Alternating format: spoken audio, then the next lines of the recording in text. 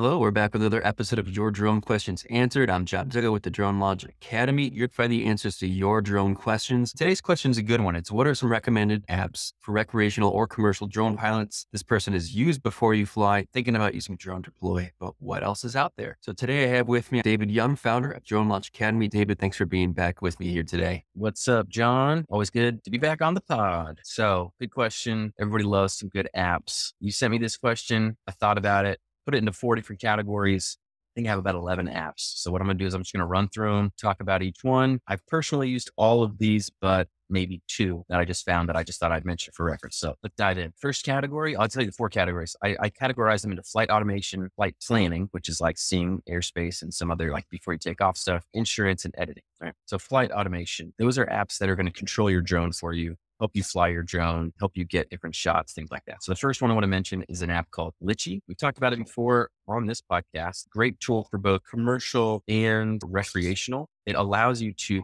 basically program your drone on the computer or on your phone where you want it to fly, where you want the camera to point, when you want it to take a picture. You can basically automate all the movements of your drone on an app. And then you basically, you hit a button, it loads it to your drone and it, your drone takes off and does that stuff. So people use this a lot if they want to get, let's say the same exact video every time or the same exact photo from the same exact angle every time. So this is used a lot in progression photos for construction sites. But let's say you want to capture the same sunrise every morning for 30 days. You know, you could program one specific shot and you just take your drone, hit, hit a button and every day get that exact same shot. So you're trying to do something like that, Litchi's good. You can use it. It's uh, on Android and Apple. It does cost a little bit of money. I think it's somewhere around 20 bucks, but it's a one-time payment. Litchi. Next is a DroneLink. This one's a little bit more expensive. They have recreational, I guess, pricing, and then they have commercial pricing. But this think about Litchi, but on steroids. You can do a ton of different stuff. You can do inspection. You can automate the drone, fly up the side of a building and go back and forth, taking pictures on the way up to get the condition of a building. You can do mapping, collect mapping work for it. So photogrammetry, if you're familiar with that, the listeners, maybe you are, maybe you're not. But essentially, you can take tons of photos and then they all get stitched together later in other software to create giant maps or um, 3D models. So this software allows you to do that. Actually, the next three pieces of software allow you to do that. So there's DroneLink, Drone Deploy, and Pix4D Capture. Drone Deploy is a little bit more of a comprehensive software, but the free piece they have is the flight automation. So each of these pieces of software mm-hmm. will allow you to get overlapping photos to help you to create lifelike models, whether it's like 2D sort of maps that are used for construction, surveying, civil engineering, that kind of stuff, or a 3D model of a building. Sometimes people use this software to take pictures of stuff, create a 3D model, and then they'll run it through a 3D printer, print out like an object they captured with their drone, stuff like that. So that can be pretty cool. So those pieces of software are called DroneLink, Drone Deploy, Pix4D capture. One reason to use DroneLink is that with Drone Deploy and Pix4D capture, they're only compatible with certain drones. DroneLink is usually compatible with more drones. It's just the way that the software control the drone is a little bit differently. So if you have like a DJI you know, Mavic Air 2, it's a popular drone, typically you'd get DroneLink because that doesn't work with Drone Deploy or Pix4D. Technically, it works with Drone Deploy, but you have to pay a lot of money for it to get it to work. And all Drone Deploy is doing is using DroneLink integrated into their software. So you might as well just code your drone. And then the last one I'm going to talk about is a software called DJI Pilot. So that's a software by DJI. It's again a flight automation controls the drone. That's typically for like their enterprise large drones, like Matrice and um, 30 series drones. So if you're recreational, not so much, but if you have a bigger drone or enterprise drone from DJI, that's probably what you're going to be using instead of the others. Let's go flight planning now. So flight planning, what I mean is before you ever take your drone off, you want to do some checks. You want to see what is in the air above me because you never know how close you are to an airport or if you're in restricted airspace or controlled airspace. So there are some apps that make that easy for you. Technically, there's the Before You Fly app that the FAA puts out, but they put that out in partnership with another company um, called Aloft. I would just use Aloft's regular app. If you go to Aloft, A-L-O-F-T dot A-I, you can go to their website, but they also have a mobile app. It's very user friendly. You can pick which rules you're flying under. So if you're flying under commercial or you're just flying under recreational rules, and it shows you if you can or can't fly somewhere. So it shows you if there's an airport nearby that you would need to get access, you know, request permission, or if, you know, most places around the US are, are open and clear, but it's good to check. So I would look at that one. If we're talking weather or winds, a lot of times people underestimate the impact of wind in your flights. A good one is UAV Forecast. They have a nice app that shows you what the winds are like at different altitudes. You guys don't know much about the weather. The higher you go up, typically the stronger the wind because there's not much getting in the way of it, you know? So it may not seem too bad down where you're standing, but you fly up 300 feet and it's like 25 mile an hour winds, you know? So that's a good app to sort of look at winds, to look at, that's called winds aloft is the ter- aviation term. Look at wind, look at visibility because there's visibility requirements. If you're flying a drone, you need to see for three miles.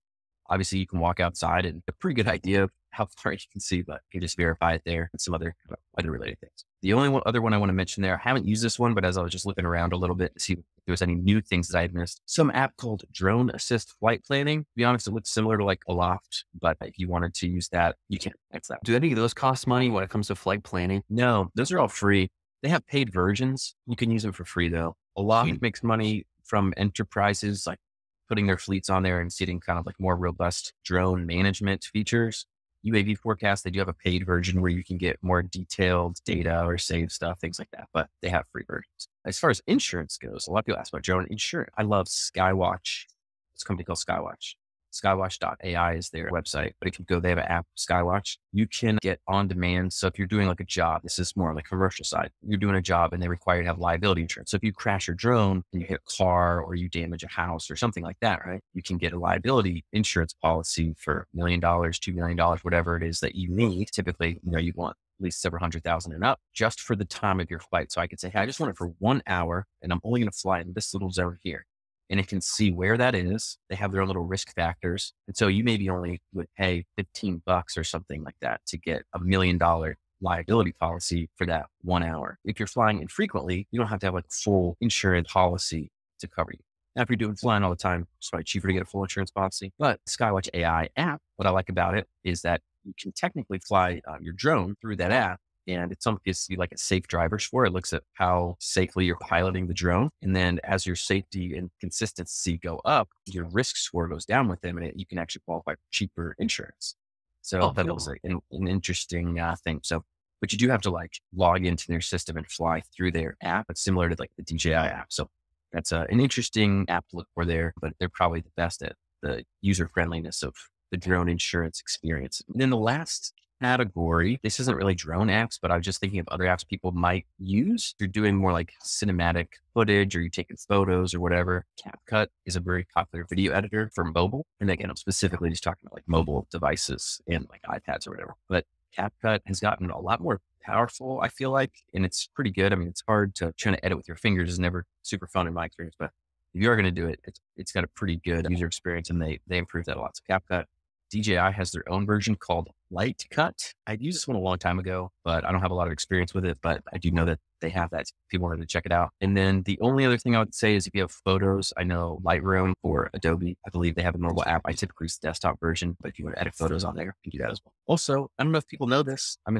I'm guessing they do. If- you're taking pictures on your drone and they go to your phone, you can just edit photos in the photo app too on like an iPhone. I'm sure you can do it on Android too. You can edit it gives you a lot of access to like brightness and hue and saturation, all that stuff. So not the most powerful editor, but there it's, it exists. So, but yeah, that would be my rundown of the apps. I'm, I'm really looking at these three categories flight automation, flight planning, and insurance as being something that's just applies to everybody commercial drone pilot, recreational drone pilot. So that's fantastic. Thank you very much for sharing those. And I'm sure it's a broad market. There's a lot out there. And so things are always kind of new things are being added. And so always kind of checking in on this kind of thing. This is probably a pretty good idea, a pretty good topic to check in on every so often. Uh, If you're listening to this, you're like, oh, I can't believe you didn't mention this one. Email us support at dronelaunchacademy.com.